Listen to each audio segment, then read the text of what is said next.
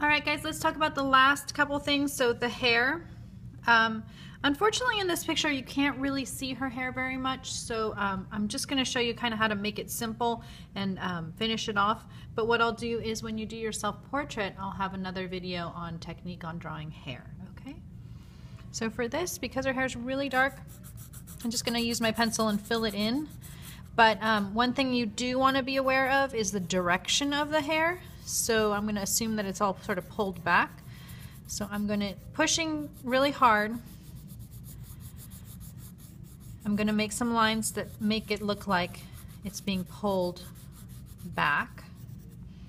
Here I think maybe I'll go this way.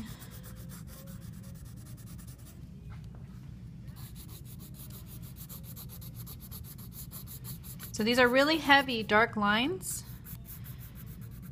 that eventually when I blend in, it's really going to look more like the shadow in between little clumps of hair instead of actually the each individual little hair, okay, because we never want to draw that much. Okay, so then I'll take my blending stick and fill in values. I don't think, she doesn't seem to have any highlights in the hair, so it's all dark. So blend it all in, and then what I'll do is a little bit of cleanup at the edge that sort of blends in with pencil line. Also, the picture's kind of blurry and we really can't tell that much what's going on, so we're just gonna fake it. I'm gonna assume she has some kind of updo. Um, and then over here, maybe just a little chunk that comes down like this.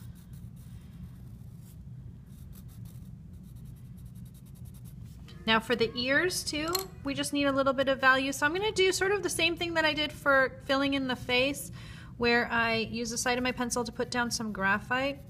Again here it gets kind of confusing. But just a little something here and there and then I'll just use my blending stick, changing the pressure to fill that in. So like I said, we don't have a lot of detail in the picture, but we know that something's there, so that works. I think what I would have done if I was to continue and finish this, this drawing would be maybe to put in her shadow so that it's darker behind her, and that would make the ears pop. Um, you don't really have to do that much, unless you feel like it. and then for the earring, I can't tell what's going on, so I'm just to fake a little bit of a shape because it is taking up that space where her lobe is. Something like that looks okay, I think. It's all shiny, so maybe we'll put a few eraser marks in there too. Okay, that's about it. So I'm gonna go ahead and finish up the hair and then I'll post a picture of that too, okay?